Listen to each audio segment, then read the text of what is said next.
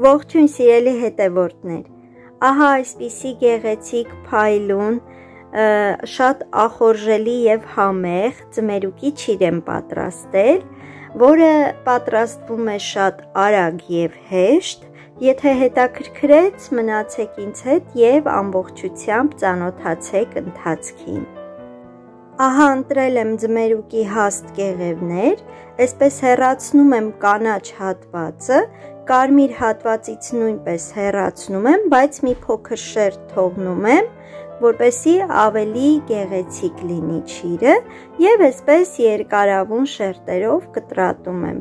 Կարող եք կտրատել այնպես, ինչպես դուք կցանկանաք։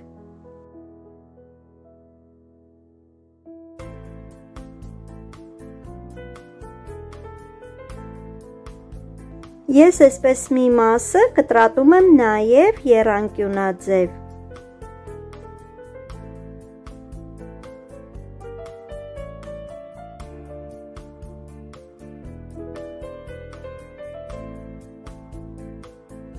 Ամբողջը կտրատելուց հետո լավ լվանում եմ եւ դնում եմ քամվի։ Անցնում եմ օշարակի պատրաստմանը։ Օշարակի պատրաստման համար կաթսայի մեջ լցնում եմ 1 կիլոգրամ շաքարավազ, վրան ավելացնում եմ մի պտղունց լիմոնի աղ, վանիլ եմ ավելացնում, 150 միլիգրամ ջուր եմ ավելացնում եւ լավ խառնում եմ։ Այնուհետև տեղափոխում եմ կրակի վրա եւ այսպես թողնում եմ մինչև հասնի եռման աստիճանի,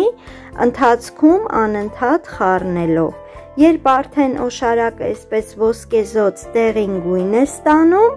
արդեն տեղափոխում եմ կեղևները մեջը եւ մի քանի րոպե թողնում եմ եռա։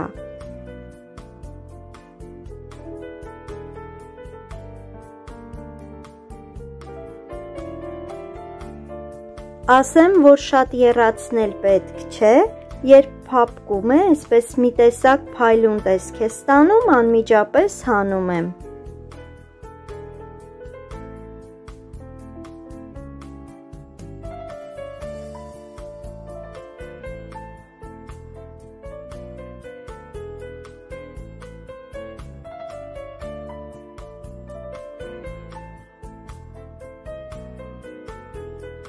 Ահա պատրաստում եմ կեղևի մնացած մասը եւս եւ այստեղ արդեն պատրաստ է լցրել եմ որպեսի քամվի իսկ օշարակը տեղափոխում եմ կրակի վրա եւ թողնում եմ եռա որպեսի ջրային մասը դուրս գա Այնուհետև կեղևը նորից այսպես վերադարձնում եմ օշարակի մեջ թողնում եմ մինչև հասնի եռման աստիճանի։ Երբ սկսում է եռալ, անմիջապես կրակը անջատում եմ, այսպես վրան ափսե եմ տեղավորում, որպեսի կեղևները մնան օշարակի մեջ եւ այսպես թողնում եմ մինչև երեկո։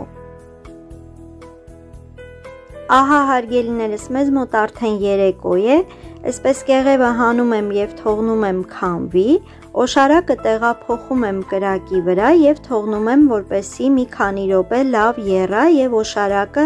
այսպես մի փոքր թանձրանա, այնուհետև կեղևը նորից վերադարձնում եմ մեջը, այստեղ երբ եռը կանգնում է, նորից թողնում եմ, որպեսի հասնի եռման աստիճանի, Երբ սկսում է արդեն եռալ, անմիջապես կրակը անջատում եմ, նորից ծածկում եմ ափսեյով, այնուհետև կափարիչով եւ թողնում եմ ամբողջ գիշեր մնա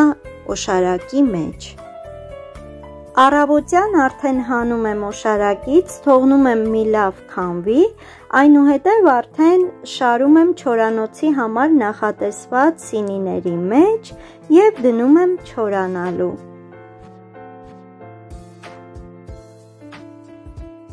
Հարգելիներս, մի բան էլ նշեմ, որ մրգի քանակ ես չեմ նշում, քանի որ պատրաստում եմ աչքաչափով, այսինքն եթե միրգը շատ է, օշարակը ավելի շատ եմ պատրաստում։ Եթե միրգը ավելի քիչ է, իհարկե օշարակը արդեն ավելի քիչ եմ պատրաստում։ Դե ինչ իսկ վերջում ստանում եմ ահա այսպիսի գեղեցիկ եւ նաեւ համեղ արդյունք։ Անպայման փորձեք այս տարբերակով եւ վստահ եմ, որ ձեզ դուր կգա։ Եթե հավանեցիք, անպայման սեղմեք լայք, կիսվեք ընկերների հետ, ովքեր բաժանորդագրված չեն իմ ալիքին, կխնդրեմ բաժանորդագրվել եւ անպայման չմոռանաք սեղմել զանգակ կոճակը որպեսի բաց չթողնեք իմ համեղ հետաքրքիր յուրօրինակ բաղադրատոմսերի ծանուցումները։